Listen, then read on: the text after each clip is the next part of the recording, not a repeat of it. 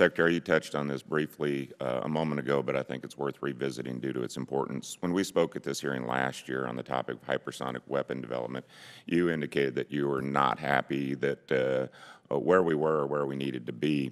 And thanks in large part to your efforts during your time as Secretary of Defense, we've seen a major shift in focus and support towards hypersonics. Uh, my state of Tennessee has a vested interest in this issue with all the work that's done at Arnold Air Force Base in Tullahoma. Uh, what concerns me, though, is the aging infrastructure and significant investments required across the Range and Test Center uh, enterprise. And as you're aware, both classes of hypersonic weapon systems have significant and strenuous test capability requirements. But because we minimally address the long-term needs of hypersonic uh, development in the past, places like Arnold, Holloman, Edwards Air Force Base face enormous challenges to maintaining and improving existing systems. If we aren't pri prioritizing our test and evaluation facilities, then in a sense we're really putting the cart before the horse. And I think you agree and share these concerns and sense of urgency.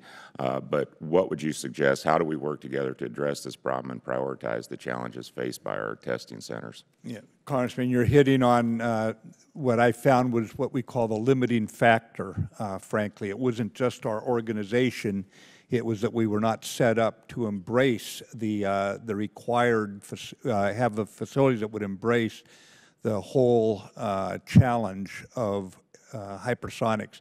So in the budget, we've addressed this to a degree, uh, but we are going to have to have a complete program, support program for this. This is going to be a major effort.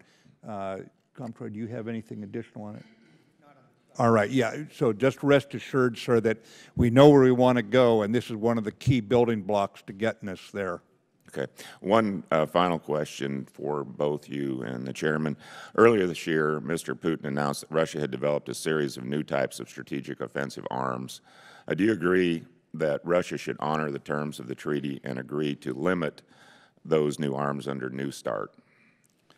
Uh, sir, I, I, believe they should. However, I will tell you that what he brought up that uh, in that video, if that's the one you're referring to, Congressman, uh, I studied it closely and talked to people on my staff who uh, know these issues very, very well. Nothing uh, that President Putin said that day in his, I think, electioneering uh, changed my strategic calculus one bit.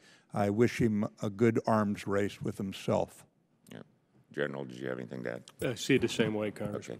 Okay. Uh, I just want to thank you all for your service. We so appreciate you, and thanks for being here today. And I yield back, Mr. Chairman. Mr. Carbajal. Thank you.